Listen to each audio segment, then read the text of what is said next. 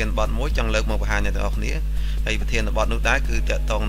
ក្នុងការយើងប្រើប្រាស់ tool Throw Develop Elevation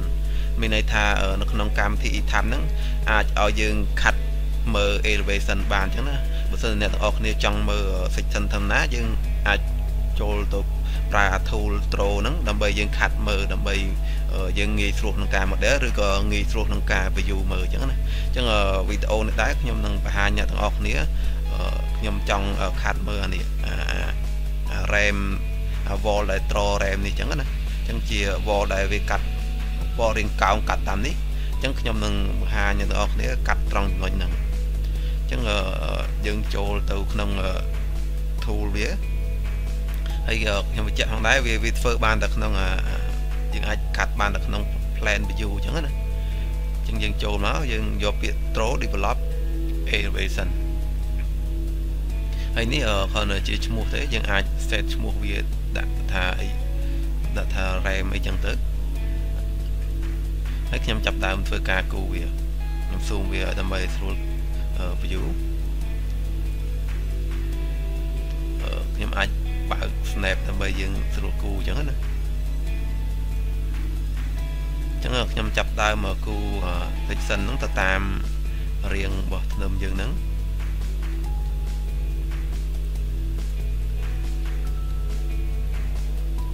អញ្ចឹងក្រោយពីយើងគូចប់វា load ឲ្យយើងចេះជា elevation ដែលខ្ញុំបានខាត់មិញអញ្ចឹងណាវារត់រត់តាមរៀងកោងនេះអញ្ចឹងយើងឧមាយើងអញ្ចឹងហើយយើងចង់គូធ្នឹមឬក៏ចង់យើងចង់ថែមថយអីវាមានភាពងាយស្រួលអញ្ចឹងណាបើមិនតែយើងធ្វើនៅក្នុងប្លង់ 3D នេះវាមានការលំបាកអញ្ចឹងបានវានៅក្នុងកម្មវិធី ETAP ហ្នឹងមាន tool ឲ្យយើង cut section អញ្ចឹងដើម្បីយើងងាយស្រួលគូឬក៏ងាយស្រួលក្នុងការបញ្យូអញ្ចឹងអញ្ចឹងធ្វើឲ្យយើងធ្វើឲ្យអ្នកប្រើប្រាស់មានភាពងាយស្រួលដោយសារវាមានអា tool ដែលអាចយើងពុះ section មើលបានហើយបើសិនជាមកថាក្នុងករណីអឺខ្ញុំបញ្យូវាមកជាន់មកជាន់ទី7ចុះខ្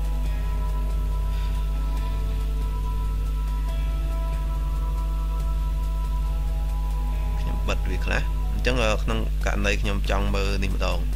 ខ្ញុំចង់ពុះមើលអាប្រអប់ចតាយន្តនេះអញ្ចឹងណាអញ្ចឹងខ្ញុំចូលវាមកយកអានឹងដូចគ្នាខ្ញុំចង់ឃើញប្រអប់នេះខ្ញុំគូសវាពាត់មកជុំនេះហើយคลิกមកអញ្ចឹងវានឹងបញ្យូអា elevation នឹងឲ្យយើងមើលអញ្ចឹងណាហើយបើសិនជាអ្នកគ្នាក្រោយយើងមកយើងចង់បកទៅមើលអាខ្ញុំពុះ RAM នេះវិញអញ្ ចឹងយើងคลิกលើពាក្យ elevation មកយើងមានពាក្យ RAM យើងនេះ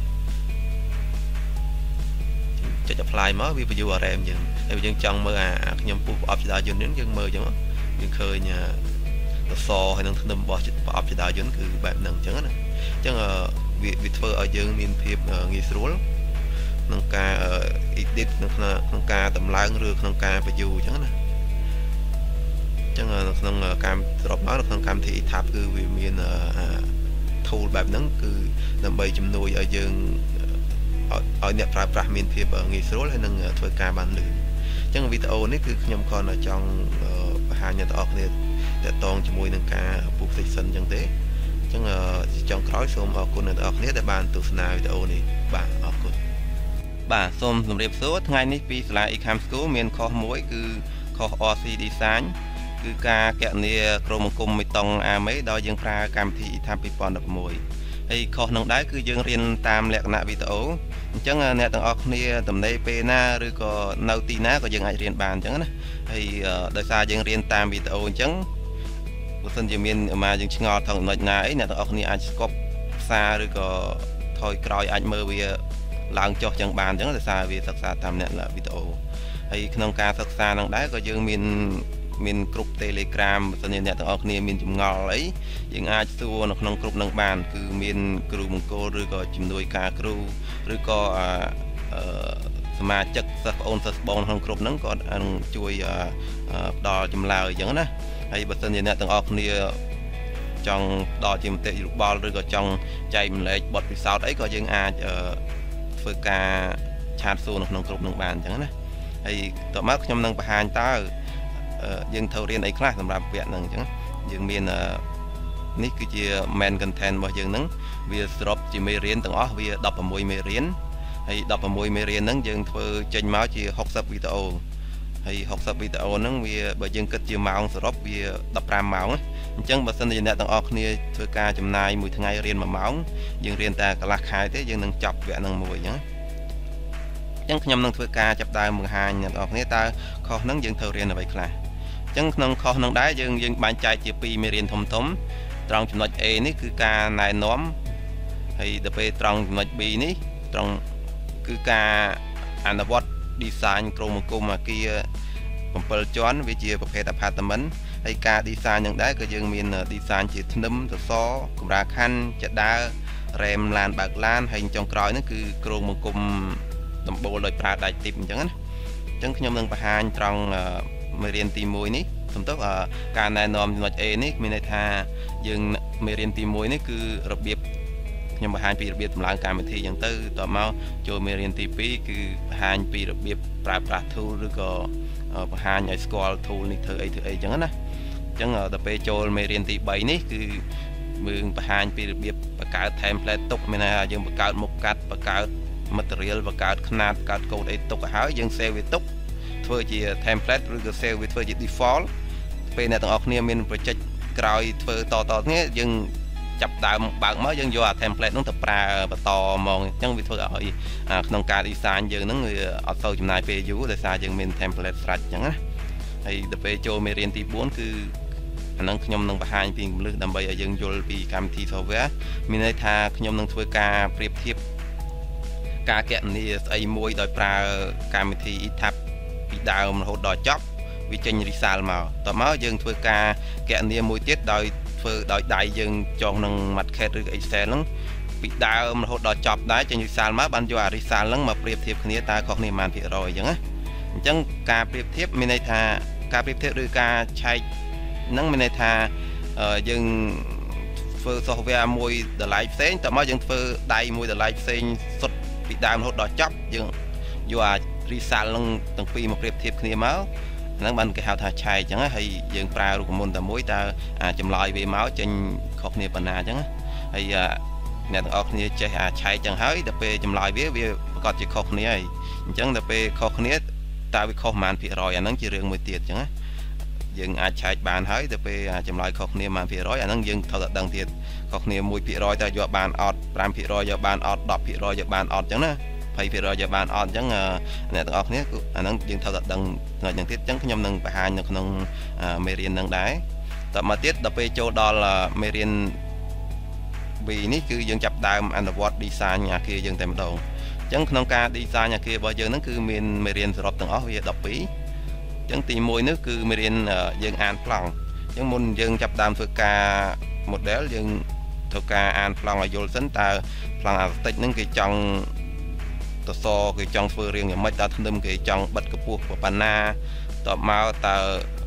អាគារគេនឹងមានចោះត្រង់ណាត្រង់ណីអីគឺយើងអានប្លង់គេតតយល់អស់បានយើងចាប់ដើមធ្វើការ design ទៅមុខអញ្ចឹងណាកុំឲ្យយើងត្រឡប់ឡើងត្រឡប់ចោះអញ្ចឹងហើយក្នុងមេរៀនទី1នឹងដែរគឺយើង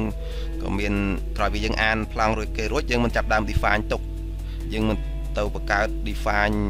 material ទុកតើយើងប្រើ material អីខ្លះតើបេតុងដែកយើងនឹងស្រែងប្រហែលអីចឹងណា តមកបាន material ហើយយើងត្រូវបង្កើត load យើងទុកតាអាគារហ្នឹងគេប្រើ service load អីខ្លះ line load super dead load រូប line load អីហ្នឹងគឺយើងចាប់ដើមលិះវាស្រង់វាទុកមកតមកទៀតយើងចាប់ដើមបង្កើតអាមុខកាត់ minimum តាអាគារប៉ុណ្ណឹងសសរ minimum មុខកាត់ប៉ុណ្ណាធ្នឹមប៉ុណ្ណាកម្រាលខណ្ឌកម្រាស់ម៉ានអីគឺយើងធ្វើការលិះវាទុកមកឲ្យអស់តមកអា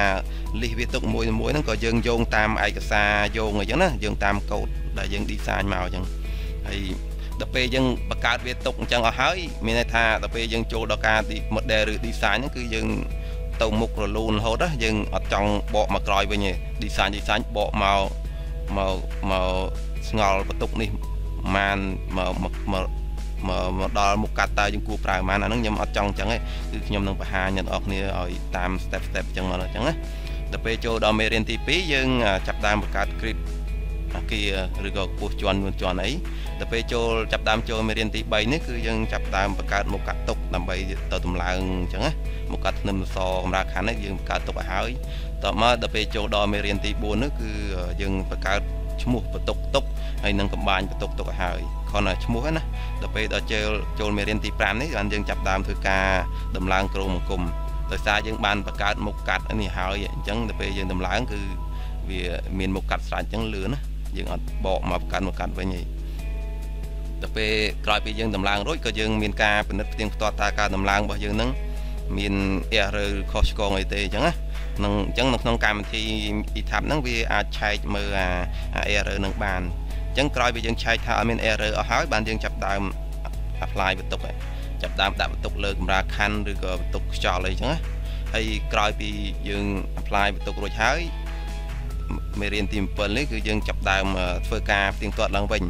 តើការដាក់បន្ទុករបស់យើងនឹងត្រឹមត្រូវឬទេតើមានផ្លិចឬក៏មានកំហុសឆ្គងដែរឬទេអញ្ចឹងគឺយើងឆែកមកវិញទាំងអស់ក្រោយពីឆែកបន្ទុករួចក៏យើងឆែកក្រុមអង្គមយើងឡើងវិញទាំងអស់អញ្ចឹងណាដើម្បីយើងផ្ទៀងផ្ទាត់ហើយផ្ទៀងផ្ទាត់ទៀតបញ្ជាក់វាកុំឲ្យមាន error កុំឲ្យមានកំហុសឆ្គងក្រោយពីយើងឆែកថាវាអត់ error អស់ហើយបានចូលមេរៀនទី8នេះគឺយើងចាប់ដើមធ្វើការ analyze ក្រុមគុំយើងម្ដង ឲ្យកម្មវិធីវិភាគទៅក្រោយពីវិភាគ analyze រួចយើងអាចមើលកម្លាំងក្នុងវាបានហើយយើងអាចមើលមុំម៉ង់មើលសៀមើល torsion មើល stress មើលអីបានអញ្ចឹងណាហើយក្រោយពីយើងមើលអស់ហើយយើងអាចឆែកភាពដាបបានទៀតអញ្ចឹងយើងនឹងធ្វើការឆែកភាពដាប vertical reflection គឺ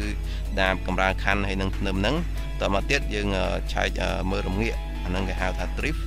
ដោយសារកម្លាំងខ្យល់រុញវិញចំហៀងធ្វើឲ្យរងាកអាចន់ខាងលើតើរងាកម៉ានតបមកអាការរងាកតាមជាន់នីមួយមួយម៉ានអញ្ចឹងអាហ្នឹងយើងយើងឆែកអញ្ចឹងមានថាយើងផ្ទៀងផ្ទាត់មើលតើបើរងាកវាលើសអា low ball វានឹងធ្វើឲ្យអាចិញ្ចាំងយើងឬក៏កញ្ចក់អីអញ្ចឹងវាប្រេះអញ្ចឹងយើងបានយើងធ្វើការឆែកផ្ទៀងផ្ទាត់អញ្ចឹងណា តើយើងឆែកភាពដាបនឹងចប់បានយើងអាចចូលទៅ design បានបើក្នុងការឆែកភាពដាបនឹងអត់ជាប់ទេយើងយើងមិនត្រូវបកទៅបរិចមកកាត់ដើម្បីឲ្យវាជាប់ភាពដាបសិនអញ្ចឹងណាហើយក្រោយពីយើងឆែកភាពដាបរួចយើងនឹងចាប់ដើមឆែកមើលអា reaction យើងនេះតើបន្ទុកប្រមាណដែលត្រូវផ្ទេរលើជើងតាងហើយ reaction ហ្នឹងក៏យើងអាច export វាទៅជាកម្មវិធី Excel អញ្ចឹងដើម្បីយើងយកវាទៅប្រើប្រាស់ design នៅក្នុងកម្មវិធីអីទៀតអញ្ចឹង អាហ្នឹងសម្រាប់ជើងតាងទេហើយបន្ទាប់មកដល់ពេលចូលមេរៀនទី10នោះក្រោយយើង analyze រួចយើងអាច design ក្រុមគុំយើងបានអញ្ចឹងយើងមាន design សសធ្នឹមកម្រាលខណ្ឌចដាក្រុងដំបូលហើយនឹង RAM អញ្ចឹងណាហើយក្នុងការ design ហ្នឹងក៏បើសិនជាកណា design មិនមែន design ម្ដងទៅជាប់ទេវាប្រកាសជាមានមុខកាត់ខ្លះវាអត់ជាប់អញ្ចឹងបើអត់ជាប់យើងនឹងបកទៅបរិចមុខកាត់វិញបើសិនជាមុខកាត់សណាវាវាប្រមាវាធ្វើការខាតពេកអញ្ចឹងណា អញ្ចឹងយើងទៅធ្វើការទៅបន្ថយវិញកុំឲ្យវាខាតអញ្ចឹងណាក្នុងការ design នេះគឺយើងនឹងឆែកបកឡើងបកចុះធ្វើម៉េចឲ្យអាការ design របស់យើងនឹងវាសុវត្ថិភាពហើយហើយនឹងវាវាចំណេញទៀតណាយ៉ាងហ្នឹងយើងត្រូវឆែកទាំងពីរឲ្យវានៅក្នុងលក្ខខណ្ឌហ្នឹងក្រោយពីវាអូខេហើយបានយើងចាប់ដើមបញ្ចេញមុខកាត់នេះមានន័យថាយើង design ជាប់ហើយតើយើងត្រូវគូសយ៉ាងម៉េចគូសប្លង់ detail ម៉េចដើម្បីឲ្យគេយកទៅប្រើប្រាស់នោះអញ្ចឹងខ្ញុំនឹងបង្ហាញពីរបៀបគូសហ្នឹងគឺយើងតើប៊ីតុងយើងប្រើមុខកាត់បណ្ណាសម្រាប់ធ្នឹមហ្នឹងតមកតើធ្នឹមហ្នឹងយើងប្រើដែកខាងលើប្រមាណដែកខាងក្រៅប្រមាណដែកសុបប្រមាណអញ្ចឹងណាហើយដែកកងទំហំបណ្ណាកម្រិតប្រមាណប្រមាណនេះខ្ញុំនឹងបង្ហាញប្រាប់អ្នកនរគ្នាហើយក្រោយពីយើងគូបង្ហាញពីរបៀប detail ប្លង់នឹងអស់ហើយចុងក្រោយនេះគឺយើងបង្ហាញពីរបៀបបញ្ចេញ report អញ្ចឹងនៅក្នុងកម្មវិធី ETAP ហ្នឹងវាមានសមត្ថភាព អាចបញ្ចេញ report ហ្នឹងទៅជា file Excel ឬក៏ file Word ក៏បានអាហ្នឹងយើងបញ្ចេញមកដើម្បីយើងទុកធ្វើ reference ឬទុកយកទៅប្រើប្រាស់អីចឹងទៅថ្ងៃក្រោយចឹងណាអាហ្នឹងជាចុងក្រោយហើយអញ្ចឹងការបង្ហាញនេះក៏ខ្ញុំសូមបញ្ចប់តែប៉ុណ្ណឹងបើសិនអ្នកទាំងអស់គ្នាមានចម្ងល់អាចចង់សួរបន្ថែមអីអាចតាក់ទងតាមលេខហ្នឹងឬក៏ខមមិនសួរឬក៏ឆាតសួរអីចឹងណាអញ្ចឹងសូមអរគុណអ្នកទាំងអស់គ្នាដែលបានទស្សនាវីដេអូនេះបាទអរគុណ